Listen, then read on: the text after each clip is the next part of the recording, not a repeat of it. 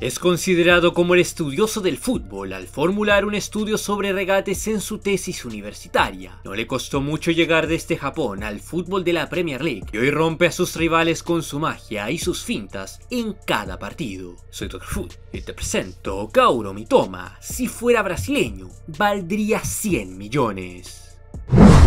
Kaoru Mitoma nació un 20 de mayo de 1997 en Kawasaki, Nakagawa, Japón. Su historia como futbolista es algo peculiar, al demorarse en realizar su debut como profesional, puesto que prefirió sacar sus estudios universitarios antes de dedicarse por completo al fútbol en Japón, sacando un título de educación física y terminó siendo especialista en entrenamiento, nutrición y deportes. En paralelo, siguió con el fútbol pero en la selección de su universidad, haciendo un estudio sobre los regates y el uno contra uno dentro del fútbol, cualidad que hoy en día es su especialidad como jugador del Brighton, pero que en su momento fue su tesis para poder convertirse en un titulado en su área, mencionando lo siguiente sobre su estudio y qué conclusiones sacó en todo ese periodo antes de ser profesional. Fue el tema más simple para mí, porque amo el fútbol y amo los regates. No había límites en cuanto a lo que se podía escribir, pero progresé analizando a mis compañeros de equipo, que eran buenos y no tan buenos regateadores, tratando de descubrir por qué eran así.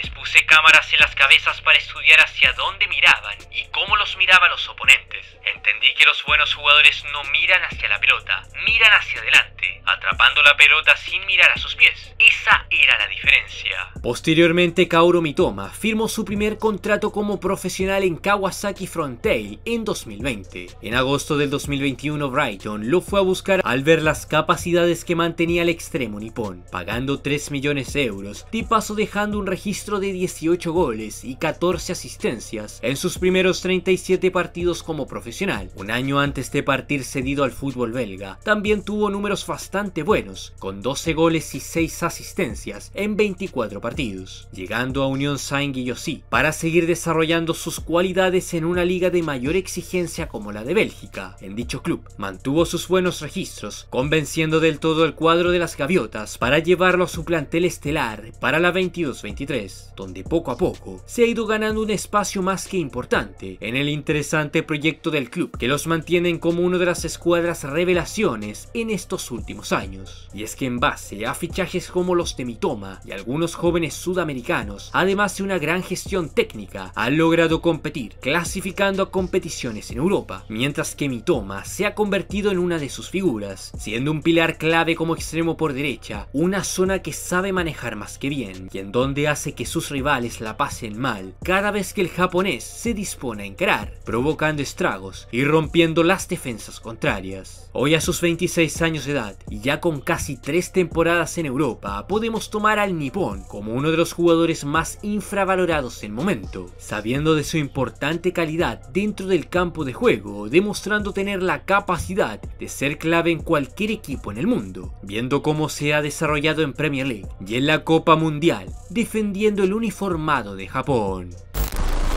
Si bien de hace un tiempo que Mitoma ha estado dando de qué hablar, fue en Qatar 2022 cuando se dio a conocer en su totalidad, siendo sumamente importante para un equipo japonés que dio cara en todo momento y que pudo haber llegado mucho más lejos en la cita planetaria, mientras que Mitoma desplegó de un fútbol de admirar, llegando a ser una de las revelaciones en la Copa del Mundo. Junto a Brighton jugó 41 partidos en su primera campaña 22-23, sumando un total de 10 goles y 8 asistencias, ayudándole equipo a clasificar a la UEFA Europa League de la presente campaña, prometiendo seguir compitiendo en la Liga Premier, con un mitoma que realmente sigue imparable en los primeros cotejos de la 23-24. Van dos jornadas de la Premier League y Mitoma suma un golazo y dos asistencias. En consecuencia su nombre está en boca del buen aficionado del fútbol, hablando sobre las capacidades del japonés y del por qué no es tan valorado como se debe. La realidad es que Mitoma perfectamente podría jugar en cualquier grande de Inglaterra y lo haría de gran manera. No digo que esté destinado a ser un balón de oro o que sea el siguiente Messi, pero de que tiene cualidades para destacar las tiene, mostrándose como un futbolista que tiene la inteligencia necesaria para mover el balón y dejar varados sus rivales. Tiene regate en demasía, visión de juego, en cara, remate de distancia, tiene una cuota de gol, haciendo que sea muy completo y pocos lo toman en cuenta. Es mucho más que cualquier extremo que tenga Manchester United o incluso Chelsea. También podría mencionar que Manchester City escasea de un jugador de sus características, es decir, Kaoru Mitoma encajaría en cualquier club de Inglaterra y, por qué no, en el fútbol de Europa. Su valor de mercado es de tan solo 32 millones de euros, mientras que la presente ventana de transferencias no ha sonado en ningún club fuera de Brighton. Algo bueno para el equipo, pero que también habla de lo infravalorado que está. Si Mitoma fuera de otra nacionalidad, tengan por seguro que estaría siendo observado por los poderosos en Europa y se hablarían demasiado de sus capacidades valdría por lo menos 100 millones de euros y se le inflaría como a tantos que terminaron siendo un completo mazo. En el caso de Mitoma, el ser japonés le afecta en su valor de mercado, pero tendrá un tiempo para poder ir marcando diferencias y demostrar que está para grandes cosas en los próximos meses. En Brighton se está moviendo muy bien en base de su dirección deportiva y eso se nota en el desempeño de sus jugadores, en especial de este extremo nipón. Su contrato con las gaviotas es hasta junio de 2025, mientras que en lo personal creo que en la actualidad se perfila como el mejor futbolista asiático del momento, incluso por arriba de Hyun Min Son. Aún así, tiene mucho margen de mejora y si sigue por esta senda podría perfectamente llegar a ser considerado como uno de los mejores del mundo en su puesto. En síntesis, Kaoru Mitoma poco a poco se va dando a conocer en el planeta fútbol. Ya se está hablando de sus capacidades y de su interesante historia, como sus estudios fueron un pilar clave para su mejora en el